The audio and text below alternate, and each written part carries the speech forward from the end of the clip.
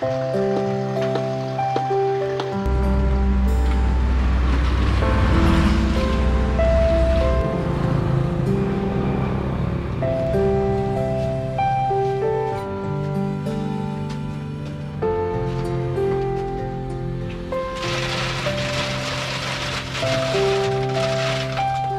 chào các bác chị nha. Hôm nay mình làm cái à, video này à, để um, thông báo với cả nhà à, trong thời gian sắp tới.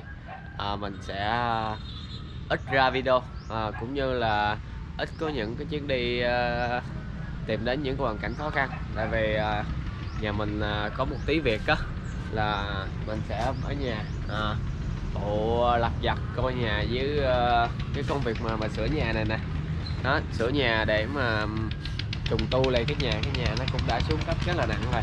Mới ờ, bắt đầu ờ, sửa ngày hôm qua thôi ở đây là cái cái khúc ở ngoài sau hè nhà mình.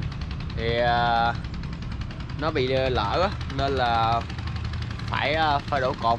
Cái um, cái quá trình mà sửa nhà này mất khoảng gần một tháng. Nên, là trong thời gian là một tháng đó, à, mình sẽ không thể là đi đâu được. Mà chủ yếu là ở nhà suốt luôn.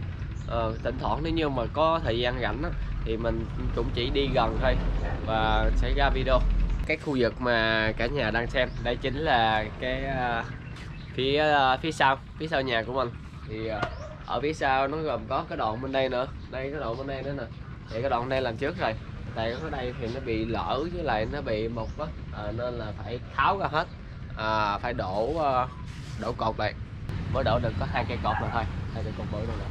Thì đổ tới tổng cộng là tới 12 cây cột là mới xong là đó thì trong thời gian sắp tới này nên ở nhà là phải ờ, coi nhà. À, nên không có không có đi đâu được.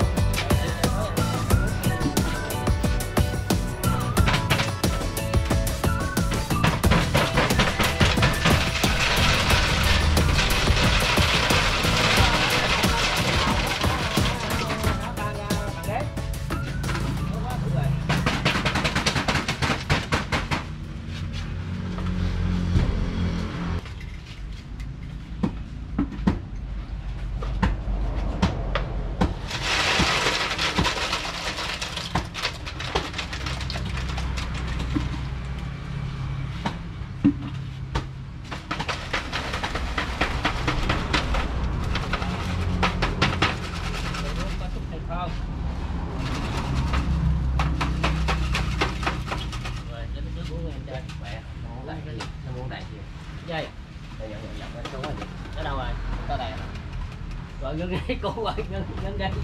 Mà này. Đây, cái đó đụng quắt luôn đó. mắt luôn đó. lên trên một cái nhỏ xíu rồi đậu dưới một quả lên trên xíu Xả ra, xả ra tâm. Xả ra hồ nước xuống là vừa luôn. dạ một xíu rồi đó một cho rồi dạ rồi. Đây là cái này nè.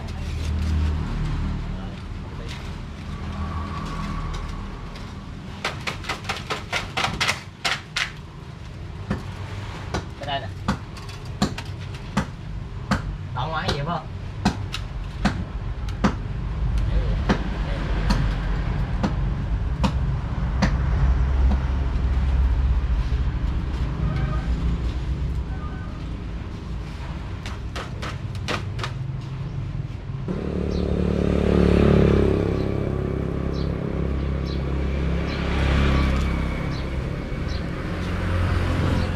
Hôm nay à, được một ngày lập cu ly một bữa đi phụ hồ.